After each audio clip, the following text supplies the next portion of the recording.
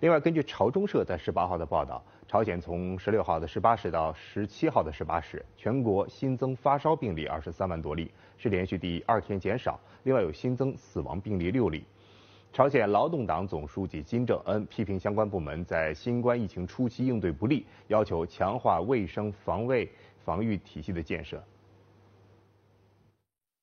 朝鲜劳动党中央委员会政治局常务委员会会议在十七号举行，金正恩指导会议，探讨了朝鲜当前的防疫政策。金正恩说，建国以来首次面临的防疫考验，暴露了国家应急能力的不成熟、国家领导干部不积极的态度等问题。在国家紧急防疫状态下，首先要集中于控制疫情传播和治疗，同时从各方面积极进行物质技术准备工作，并纠正最近出现的缺点和不足之处，以及脆弱的环节，充实卫生防疫制度和体系。金正恩还强调，要扎实做好生活保障和生活物资供应，为最大限度地保障居民治疗需求和条件而竭尽全力。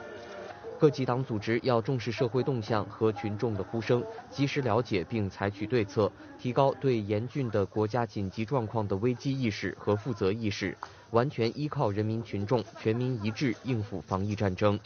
朝鲜自四月底到五月十七号下午六点为止，累计报告发烧病例近一百七十二万例，其中有超过一百零二万例痊愈，仍有超过六十九万例接受治疗，累计死亡六十二例。多名消息人士十七号透露，高丽航空的三架飞机十六号上午飞抵中国沈阳的桃仙国际机场，装载药品，并于当天下午返回朝鲜。凤凰卫视综合报道。